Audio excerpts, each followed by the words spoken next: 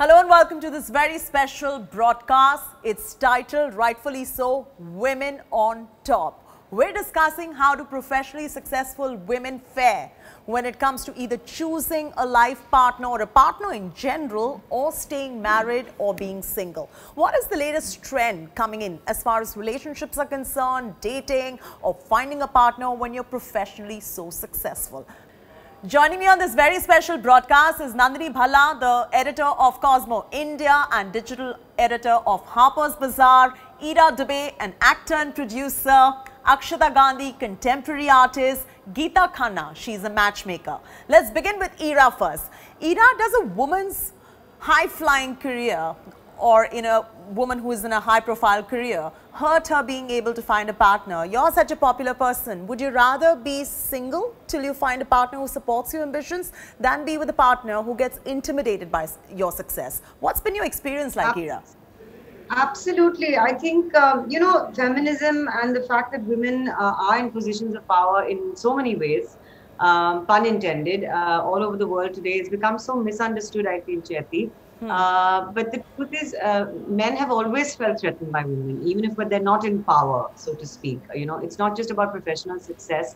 I think we, as a species, as the sexes, have different things in different proportions. Um, I think this idea of being intimidated by women who are powerful or successful is a bit of a myth, uh, if you ask me um, okay. personally. Uh, though I feel that, uh, see, at the end of it all, I'm reminded of a quote that I was reading just yesterday. Hmm. Uh, I sort of stumbled upon it, and it's it said it's a Virginia Woolf quote, and this woman wrote 120 years ago. Of course, she was very feminist, and uh, the line is.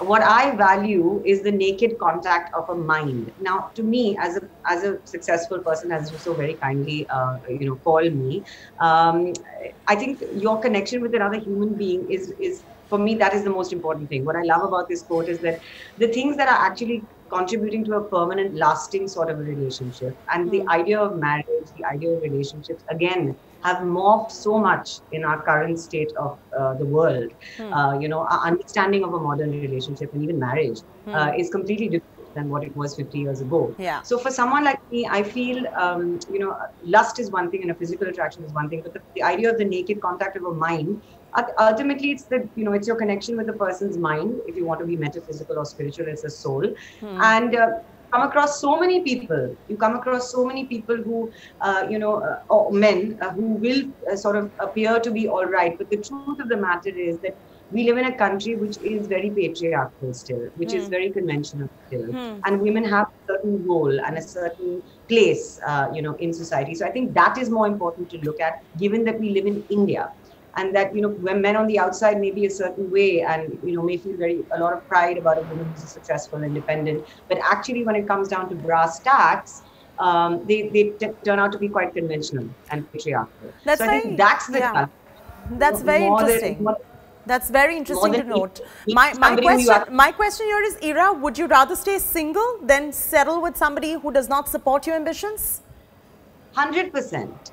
100% i think to be in a, see a partnership like i said a partnership is a partnership. That's what it really means. Hmm. so i would 100% rather stay single than be with someone who, who feels threatened or intimidated by me wanting my own identity wanting my own career wanting you know uh, just wanting to be my own person. It, I, I would find that very difficult Right. Let's get a slightly different outlook now. Akshata Gandhi, she, she is a leading contemporary artist. Akshata, you're creating waves internationally with your art. Would you attribute being able to achieve so much with yourself, having the right support at home, especially uh, with your partner? You're married to an actor who's also very, very ambitious. And isn't it important to support him too as much as you get the support from him? What is the situation looking like for you?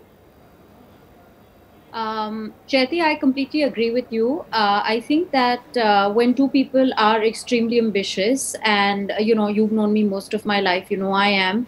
Um, I'm also married to a man who's extremely ambitious, hardworking, and I feel it's so important to uh, find the right kind of synergy uh, between two people. In fact, I I waited to meet the right person because my art uh, takes me all around the world and i tend to travel a lot which is extremely unconventional you know i remember mm. meeting a lot of people um, even for marriage who would uh, be extremely uncomfortable with the idea of having their wives sort of take off whenever she had an international show and needed to be there. Um, so I thought it was really important to meet somebody who was a not threatened, uh, be extremely secure because you know when you're traveling, you're meeting a lot of people and um, you're exposed to uh, so many different nationalities. You're exposed to the art world, you're exposed to different worlds, people, hmm. etc. And I feel very blessed to be with a man who's extremely encouraging of what I do. Um, I'm encouraging of what he does. And uh, also because we come from uh, families and places that are traditional. You know, India is extremely patriarchal, and uh, we get a lot of raised eyebrows about, oh, you know, I mean, you know, I'll, I'll, give you an example. We was we were at a lunch uh, with some family friends, and the wife said, "Oh, you know, um, you're so lucky your husband allows you to travel." And to me, that statement bothered me so much. And because you have know, a problem with the word "allow." Absolutely. So my husband immediately turned around and said, "She doesn't need my permission. I don't own her. We're married."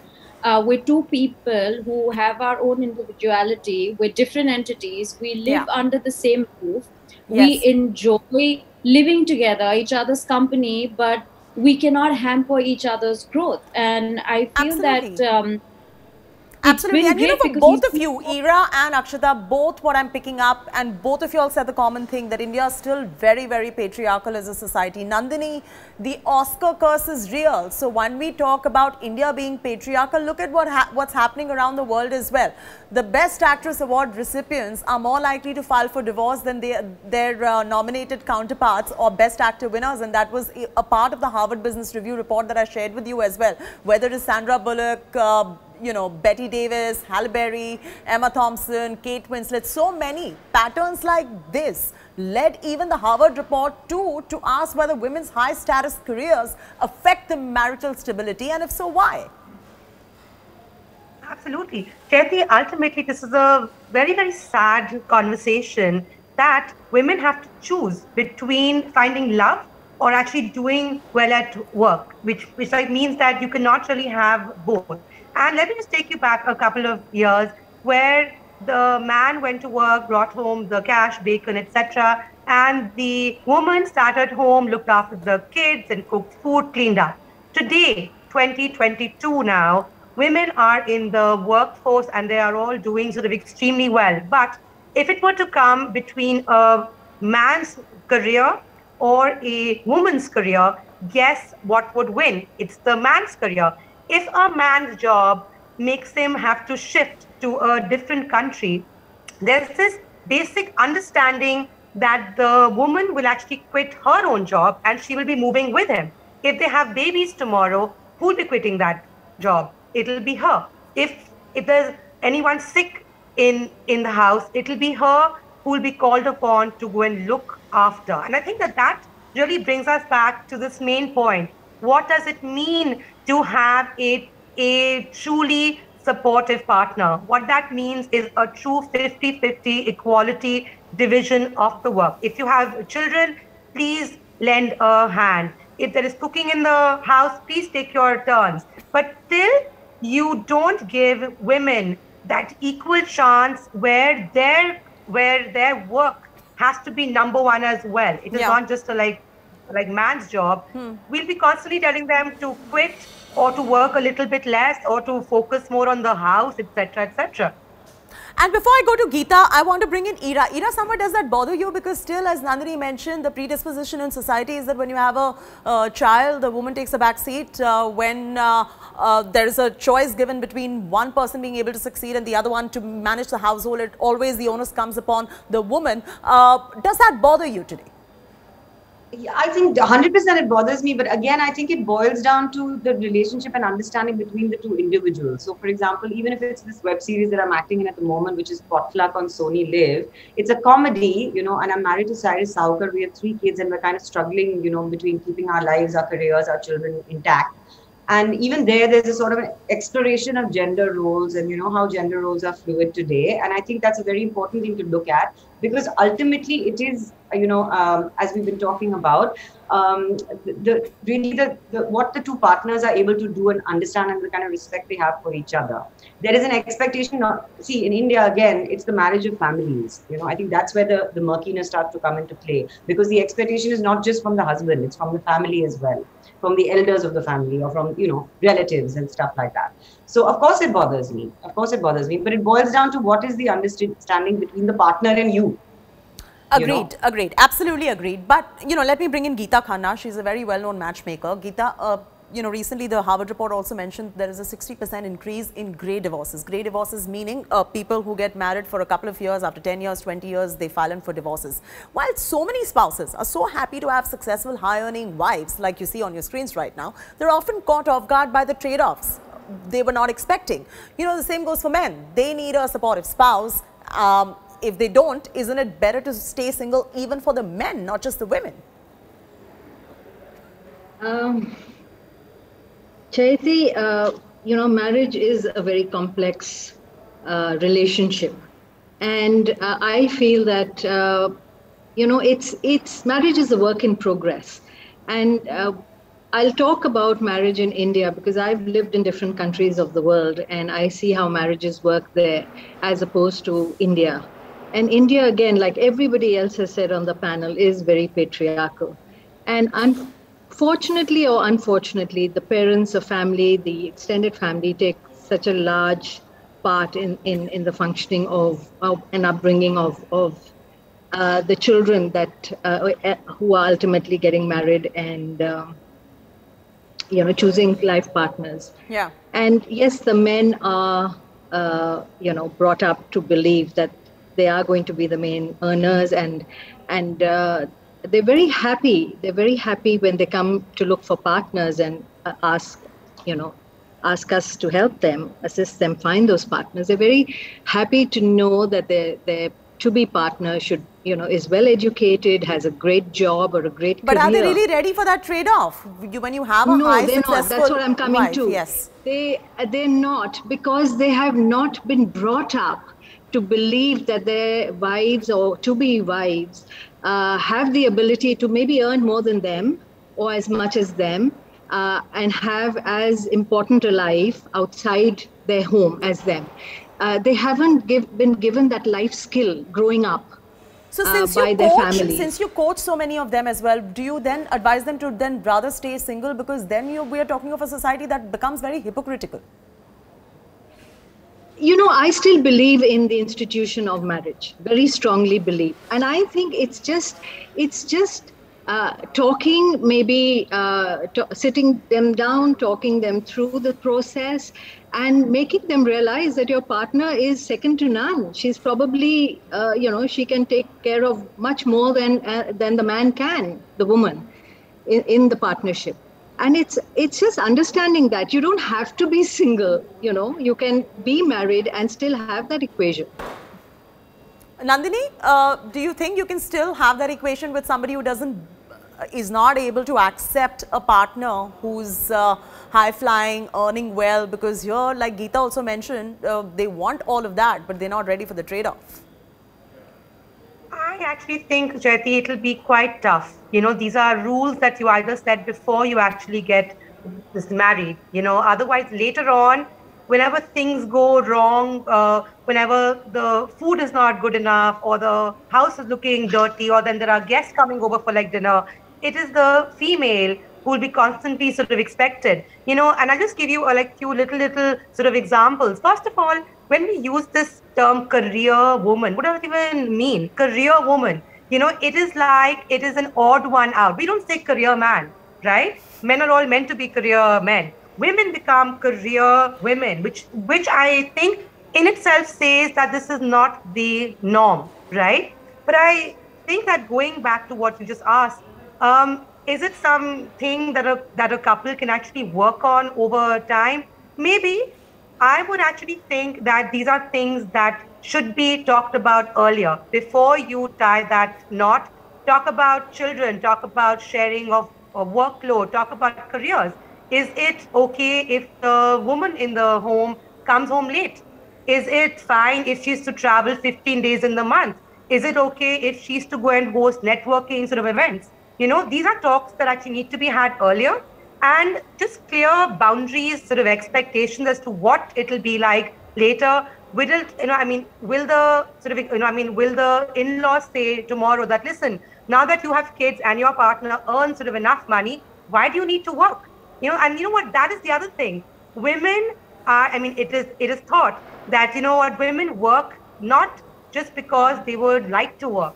It mm. is a to earn money. So if your if your partner makes makes a like good number, then it is said, oh, but why do you have to work then when your partner earns? And that is quite sort of interesting, right? So because I, I, I want to bring I want to bring Akshata in because she communicates a lot with the art as well. Uh, gender stereotypes. What's your take on this? Uh, you've gone ahead and broken the gender st stereotype somewhere with your partner. I do know your partner very well, and he's somewhere uh, equally running the household as much as you are. Uh, and y'all aren't the uh, conventional couple. Y'all contribute equally to everything possible. How does that work out with you, Akshata? So I think, um, like it's been mentioned before, we had a great understanding before we got married. We spoke about these things at length, and we decided that we wanted um, an equal marriage, you know, and we both believe in egalitarianism and we split everything. We split the rent. Um, we we divide the financial responsibilities.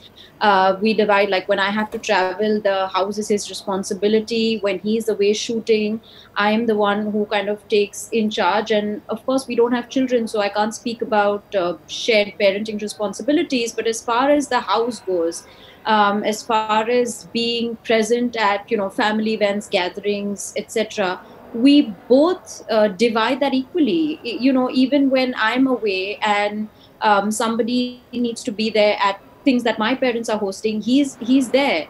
I, you know, have been lucky in the sense that um, we both believe that we've both been lucky because there is a sense of um, like you mentioned there's that we've we've broken this whole sense of gender stereotype and even when we get raised eyebrows and we get questions about why does she not do this and why does she not do that you know we put our foot down and say well this is the life that we've chosen let to me live. yes and, and let me and let me now understand from ira. Ira there is a general expectation like geeta mentioned nandini mentioned from a single woman when she goes out to meet a man especially when it's got to do with marriage in those organized setups as well which still exists in india today let's not fool ourselves. Uh, what is the actual impediment you encounter when it comes to uh, uh, aligning with that person intellectually or mentally, uh, being on the same page because still, as you rightly mentioned too, we're a very, very patriarchal society. I'll tell you the truth, uh, Chaiti, you know, I come from an extremely uh, liberal-minded family. Um, so I'm lucky, I'm blessed. I've always been allowed to live my life the way I wanted and be independent and stand on my own feet. Uh, I'm not conventional. My mother isn't conventional. She's never pushed me to get married. Neither is my father. Although it reached a stage where, you know, we, we were Indian girls. You know how it is. You and I are also very good friends and we're around the same age. So at, certain, at a certain point, no matter how liberal your parents may be, they will start, you know, sitting up and saying, you know, marriage, maybe think about it, you, you. Though, though none of my parents have ever pushed me hmm. uh, and still don't. There was an incident, uh, which is, it was hilarious to me because it was more a sort of a, uh, it was a, it, for me it was a sort of a, a, research experiment at some level where I went to a couple of these marriage bureaus just to explore what the thing was, and you I was shocked um, the kind of parameters that that were there you know in terms of um, even something like smoking or you know um, vices or uh, you know uh, your time you, you know your, your pattern your pattern of life or your interests or your everything. Everything is scrutinized down to the last T and i'm a, i'm an open book. I've always lived my life as an open book and i have make no bones about it and i'm very proud of it. And uh, i would never sort of change those things for somebody. And i think that in itself is a big sort of a red flag. If at that very stage you know you, you, are you're you're being told that you have to sort of but at the same time i agree with everyone and what everyone has been saying on the panel about the fact that marriage is a huge adjustment it's a huge compromise you know there are so many factors involved so I don't think it's so easy and so black and white to sort of pinpoint it and say this experience was hilarious to me because I just, you know, I just I, I, literally met this woman and I, I said, well, this isn't going to work for me. I didn't meet one man through this marriage thing. Sure. And I never went through with it. But I just, I found that um, it is a it really is see you know at the end of the day we are living in a global very connected world today. 2022 is a very world from our parents world from our grandparents world. Uh, evolutionarily uh, women are the nurturers men are the providers and now this is something that you have to attack from many different sides. Coming to india coming to 2022 in india it is the conditioning. You know as someone mentioned on the panel it is the conditioning with which a man is also brought up you Yeah. know uh, i think that conditioning we talk a lot about mental trauma these days we talk a lot about mental health these days but this kind of conditioning con- cultural social Yeah. conditioning is equally important to try and demystify and try and break down because Right. again it comes down to how are you going to get past that condition Correct, you know, correct, and correct. how much does it matter to you with your partner to get past that condition I, I completely agree with you.